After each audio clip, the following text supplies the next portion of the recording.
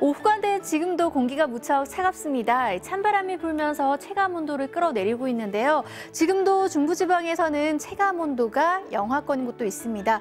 또 저녁까지 충청과 호남 지방에서는 약하게 눈이 내리거나 비가 조금 내리겠습니다. 내일 아침은 더 추워지겠습니다. 서울의 아침 기온이 영하 4도, 대구는 0도까지 떨어지겠고요.